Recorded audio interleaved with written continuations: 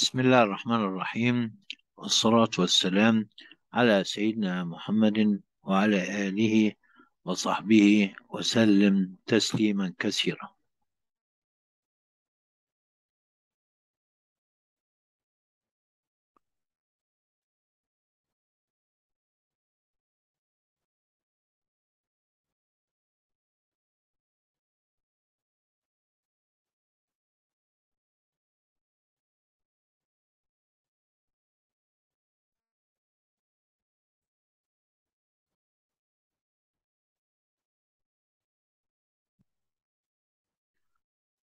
آه سوف نتكلم الآن عن الرصد.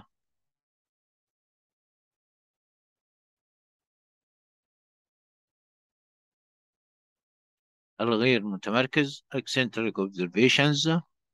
آه بنيجي نقول عند قياس أي آه زاوية زاوية أفقية يحدث في بعض الأحيان تعذر احتلال النقطة الأصلية triangulation point فقد تكون قمة مئذنة أو فنار أو لأي سبب آخر.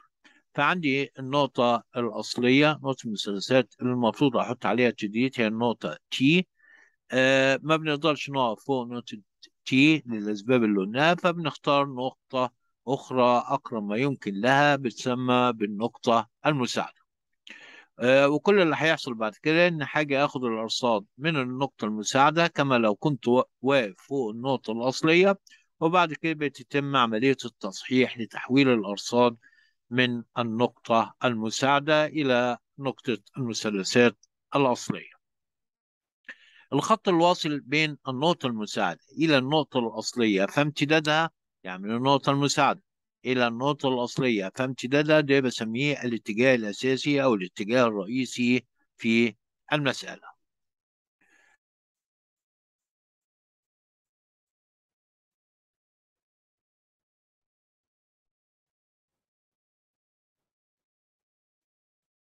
طيب لو فرضنا إن في نقطة اللي هي مثلا النقطة المرصودة اللي هي مثلا نقطة بي النقطة دي المفروض من النقطة الأصلية نوجه عليها فما قدرناش نقف على النقطة الأصلية وقفنا عند النقطة المساعدة حطينا تدريت فوقها ضبطنا تدريت وجهنا على نقطة بي اللي هي من النقطة المساعدة. الزاوية من الاتجاه الأساسي إلى النقطة المرصودة في لو كنا واقفين على النقطة الأصلية دي بسميها ألفا اللي هي القيمة الصحيحة اللي المفروض إحنا عاوزينها. آه طبعا نتيجة لأننا حطينا التيودوليت فوق نقطة S فالزاوية اللي هتبقى مرصودة هي زاوية ألفا dash اللي هي من آه الاتجاه الأساسي إلى نقطة B. بس الكلام ده هيبقى عند النقطة المساعدة. ويكون المطلوب إننا عاوزين نصحح الزاوية. ألفا dash أضيف عليها تصحيح اللي هو قيمة الزاوية دلتا اللي عندنا اللي هي قيمة الزاوية دلتا. فعندي ألفا بتساوي دلتا زائد ألفا dash حيث أن ألفا عبارة عن زاوية خارجة عن المثلث T B S فبتساوي مجموع الزاويتين الغير مجاورتين للزاوية ألفا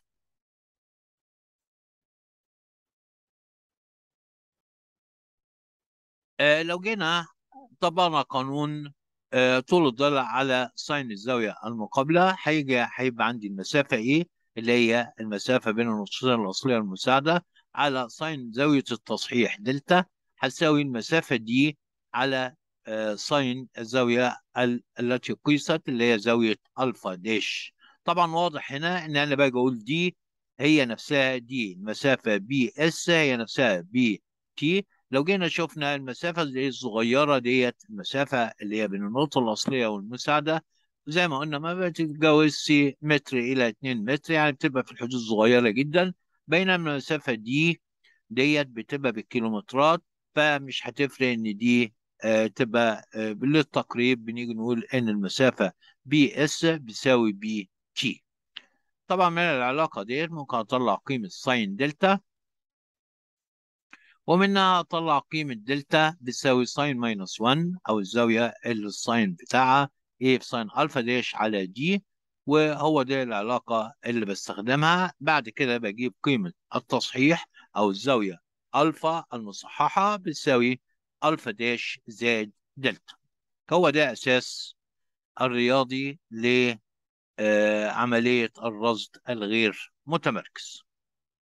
طيب آه، لو جينا خدنا مثال بنيجي نقول وضع جهاز سدريس فوق نقطة مساعدة إكس ورصدت الاتجاهات في اتجاه عقارب الساعة إلى A و B و C. على التوالي كانت الزوايا أو الاتجاهات دي اتجاهات مش زوايا. وكان مسافة عدم التمركز مسافة عدم التمركز هي عبارة عن المسافة بين النقطة المساعدة والنقطة الأصلية. والأطوال موجودة عندنا AC و AB المطلوب حساب قيمة الزاوية CAB ادي الشكل عندنا. النقطة الأصلية نقطة E. المفروض أنا عاوز الزاوية CAB اللي حصل إن إحنا مش عارفين نقف فوق النقطة E. وقفنا عند نقطة أخرى مساعدة اسمها X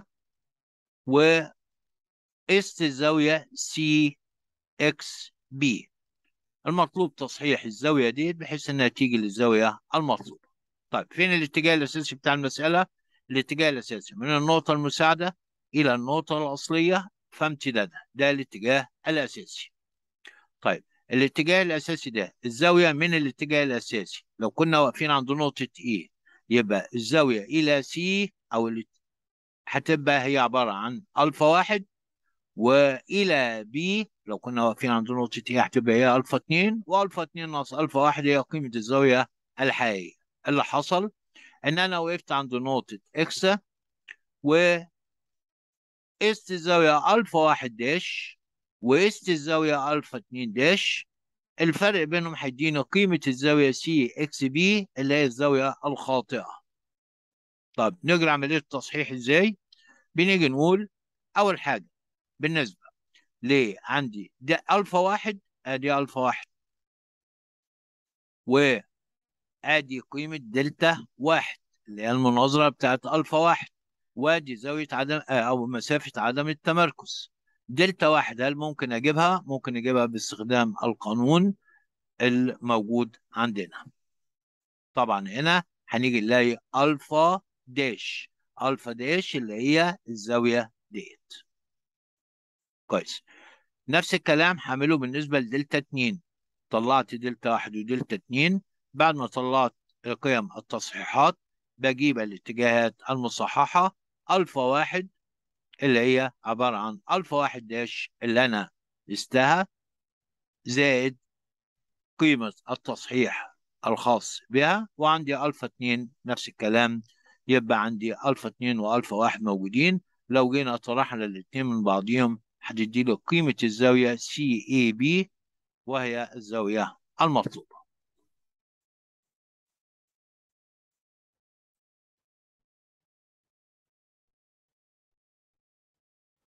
طب لو جينا شفنا مثال آخر بنقول A B C D أربع نقط مثلثات لم نتمكن رصد الزوايا من نقطة D. يبقى في عندي نقطة A وفي عندي نقطة B. وفي عندي نقطة C وفي عندي نقطة D. أدي أربع نقط. بيقول لك ده أربع نقط مثلثات آه لم نتمكن من من رصد الزوايا عند نقطة D. نقطة D ديت ما عرفناش نقف فيها. طب إيه اللي حصل؟ إننا اخترنا نقطة مساعدة ل X غرب D. يعني عندي دي اهي يعني تقريبا في الغرب. يبقى جينا نقطة اللي هي نقطة X. وقسنا الاتجاهات والمسافات كما هو مبين. يعني إيه؟ يعني جينا وقفنا فوق نقطة X عملنا إيه؟ آه رحنا قايسين اولا مسافة X C و X B و X A كويس. أنا عندي مسافة عدم عدم التمركز قد إيه؟ اللي هي المسافة من D إلى X دي عبارة عن 20 متر. كويس. الاتجاه الأساسي فين عندي؟ الاتجاه الأساسي لازم يتحدد في المسألة قبل ما ابتدي أشتغل في المسألة. بمعنى X من النقطة المساعدة إلى النقطة الأصلية فامتدادها هو ده الاتجاه الأساسي. هو كان مديك هنا بيقول لك إن الاتجاه الأساسي اللي هو إكس اي فين إكس اي؟ إكس اي 116 في عندك هنا إكس A ديت الاتجاه ده كان 116 X B كان 254 X C في عندي X C اللي هي 63 وعندي X D اللي هو الاتجاه الأساسي اللي قلنا عليه ده كان 94 كويس أوي. يبقى اذا ده الاتجاه الأساسي. طب لو جيت شفت من الاتجاه الأساسي إلى النقطة A أو النقطة هاجي ألاقي إن الزاوية هي ديت عبارة عن ألفا واحد من الاتجاه الأساسي. لو لو كنا واقفين فوق نقطة D كان هتبقى ديت عبارة عن ألفا واحد. طيب لو كنا واقفين برضك فوق نقطة D يبقى من أول هنا لغاية الاتجاه إلى B هي ديت الزاوية ألفا 2 ألفا 3 اللي هي من الاتجاه الأساسي إلى نقطة C كل الكلام ده لو كنا واقفين فوق النقطه D طب إيه اللي حصل دلوقتي؟ اللي حصل دلوقتي إن أنا مش عارف أجيب الاتجاه دي إنما لو جيت عند نقطة X الاتجاه الأساسي أهو. والاتجاه إلى A هو مدولة من X إلى A 116 طيب الزاوية دي قد إيه؟ الزاوية ديت هاجي ألاقي إن الفرق بين الاتجاهين 116 ناقص 94 ودي هتبقى بس ألفا dash واحد مش ألفا واحد. طيب برضك نفس الكلام. من X الاتجاه الأساسي إلى ومن X إلى الاتجاه نقطة B هتبقى هو دي ألفا dash 2 وإلى نقطه C هيدينا الفا dash 3 طب الفا الفا dash واحد. ده فين التصحيح بتاعها اللي هو هيبقى دلتا واحد والتصحيح دلتا اتنين بالنسبة للاتجاه لو جينا وصلنا ل B والتصحيح دلتا تلاتة بالنسبة ل لو كنا موجهين على نقطة C طيب. لو جينا شفنا الكلام ده وعملناه في الفا dash واحد اهي الفا dash واحد. إزاي بجيب الفا dash واحد؟ الفا dash واحد اللي هي المسافة الزاوية دي الزاوية دي بتساوي إيه؟ بتساوي الاتجاه من إكس لايه إلى والاتجاه من إكس إلى اللي هو الاتجاه الرئيسي من X إلى D. يبقى هاجي ألاقي إنها بتساوي 116 ناقص آه. ناقص 94 طب الفا dash 2 نفس الكلام. والفا dash 3 وكل واحدة المسافة بتاعتها دي بتاعتها وهنطبق فيها العلاقة. السابق ذكرها اللي هي دلتا بتساوي sine minus 1 E sine الفا dash على D. آه منها ممكن أطلع قيمة دلتا واحد. أجي ألاحظ إن قيمة دلتا واحد موجبة. هاجي أطلع قيمة دلتا 2 هاجي ألاقي برضه قيمة موجبة. ليه ديت؟ علشان دي هنا ال sine 22 دي ال sine 160 لما أجي أشوف دلتا 3 هاجي الاقي إن الإشارة بقت سالبة على أساس إن دي ال sine 329 يبقى اذا 329 ديت بطلع ال sine أحط القيمة بالإشارة فالتصحيح بيطلع بالإشارة بتاعته آه لو ضفنا التصحيحات ديت على قيم الزوايا هنيجي نطلع ألفا واحد وألفا اتنين وألفا تلاتة. طيب جينا ألفا واحد أدي ألفا واحد. اللي هو من الاتجاه الأساسي لنقطة A؟ ألفا اتنين من الاتجاه الأساسي إلى نقطة B ألفا تلاتة من الاتجاه الأساسي إلى نقطة C طيب يبقى إذا ممكن الاتجاهات المطلوبة D A أنا عاوز D A هاجي ألاقي إن D A بتساوي الاتجاه من D إلى A بيساوي. الاتجاه الأساسي اللي هو 94 و12 و32 زائد ألفا واحد. ديت زائد ألفا واحد.